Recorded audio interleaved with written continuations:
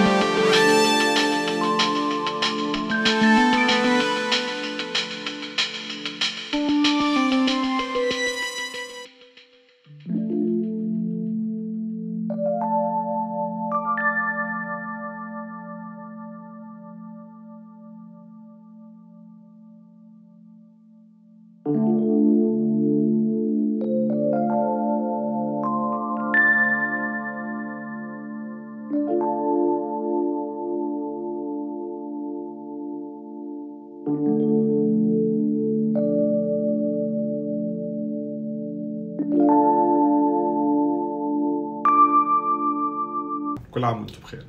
مثل ما شفتوا أنا كنت أبطأ ب 20 مرة تقريبا من الذكاء الاصطناعي. لكن شو السبب وكيف ممكن نستفيد من هالموضوع؟ لنبدأ بالبشر. حل السودوكو بيتطلب مننا مزج بين المنطق وتمييز الأنماط والتجربة وتصحيح الأخطاء مع تذكر الخطوات طبعا وتذكر القواعد. وممكن البشر يستخدموا حس بديهي خلال الحل أو نوع من الخبرة يلي بتتكون مع مرور الوقت واستثناء الأرقام الغير ممكنة بمربع أو جزء من اللغز. وكمان نعمل توقعات ببعض الأحيان مدروسة لنوصل للحل. بينما الذكاء الاصطناعي ممكن يستخدم خوارزميات مختلفة للبحث عن الأنماط واستبعاد الأرقام غير الممكنة والتعرف على القواعد وتصحيح الأخطاء بدون أي خطأ بالذاكرة. الفرق هون إنه الذكاء الاصطناعي بيقدر يعمل هالشغلات على مستوى اللغز كامل وبملايين الحسابات خلال ثواني. هالشي بخليه يحل اللغز بشكل سريع كتير.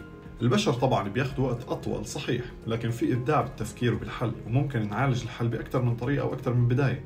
وممكن نعالج بعض الجوانب أفضل من الذكاء الاصطناعي. بينما الذكاء الاصطناعي عنده دقة أكثر وبيتعرف على الخطأ وبصححه بشكل مباشر حتى لو كان اللغز صعب ومعقد ونحن ممكن ننسى قاعدة أو ما ننتبه لمشكلة بالحل بشكل مباشر بينما هو لا مباشرة بيقدر يحدد الخطأ ويصححه. هاي الجوانب عند كل طرف سواء البشر أو الذكاء الاصطناعي بتعطي لكل منهم أفضلية حتى لو كان في سرعة عند الذكاء الاصطناعي لكن عند البشر في إبداع. فخلينا نتصور بهذا المثال حجم الفائدة من دمج القدرتين مع بعض إبداع البشر وقدرات الذكاء الاصطناعي.